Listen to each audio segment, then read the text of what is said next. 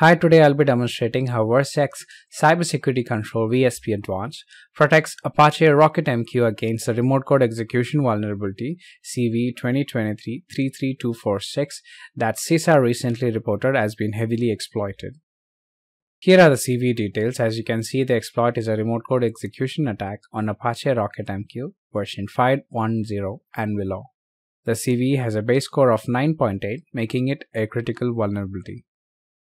In this attack kill chain at step 1, the threat actor performs reconnaissance to check if the workload is vulnerable to the RCE vulnerability. Once the threat actor determines that the workload is vulnerable, they execute the exploit at step 3. The exploit installs a backdoor that helps the threat actor gain remote control of the victim workload. From step 7 to 10, the attacker can execute any malicious actions such as executing an executable and lolbin malware, exfiltrating data, execute lateral movement, and rinse and repeat malicious actions on adjacent workloads, etc. Virsec protects the workload very early in the kill chain before the threat actor can execute any meaningful malicious actions. Now let us see the demo with VSP running in detect mode. In this mode, we will see all the steps that the threat actor will carry out. All the threat actor actions will be logged only. Later, we will see the same demo in protect mode where the threat actor will be blocked very early in the kill chain. Back to the detect mode demo. We can see in the CMS dashboard that the Apache RocketMQ server is protected by VSP running in detect mode.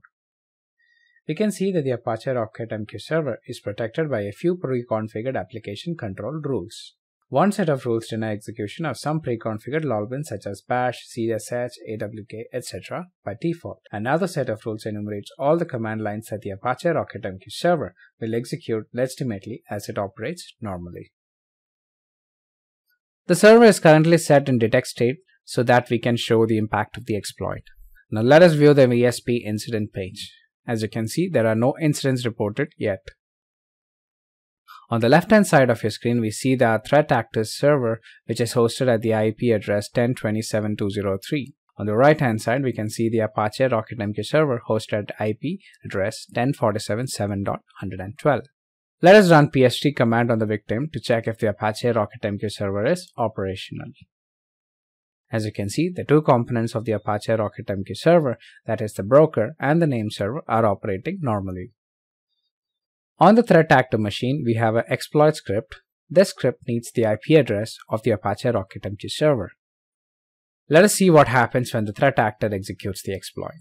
A netcat server is spawned on the threat actor machine and it is listening for backdoor connection from the victim server. As you can see, the victim server is first detected as being vulnerable and then a malicious RCE payload has been sent to it.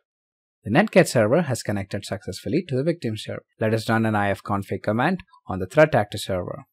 As we can see, we see the IP address of the victim server. Now the threat actor can execute the cat command on the etc password file to display the contents of the password file.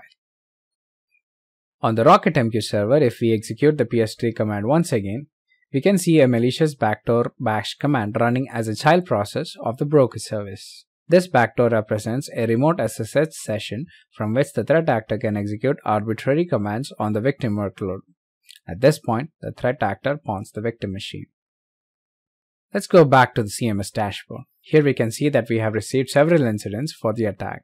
The first ticket notifies the enterprise about the backdoor used in the attack. We can also see the details of the RCE attack.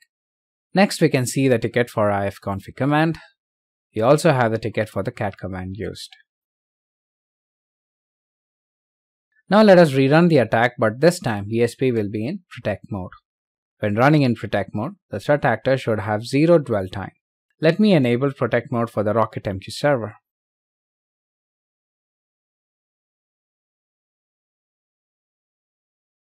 I will also enable a protection profile that will terminate any malicious command that may execute.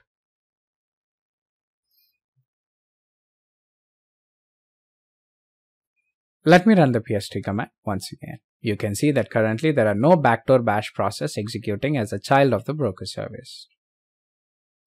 Now let me run the exploit once again.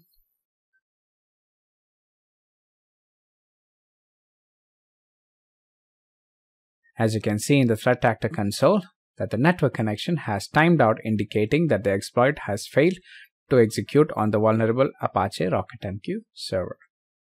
Now if I were to check the pstree on the victim server, I still don't see any backdoor bash command under the broker service, which means Virsec has successfully blocked the RC exploit. Now let us go back to the CMS dashboard. We can see several incidents for the attack. In the first incident, we can see Virsec has successfully blocked the backdoor established via the bash command used in the attack. We can see all the details of the RC attack. We can also see the protection actions carried out by Virsec to prevent the attack. This demo shows that Virsec can protect a vulnerable app that has not been patched with zero dwell time. Thank you.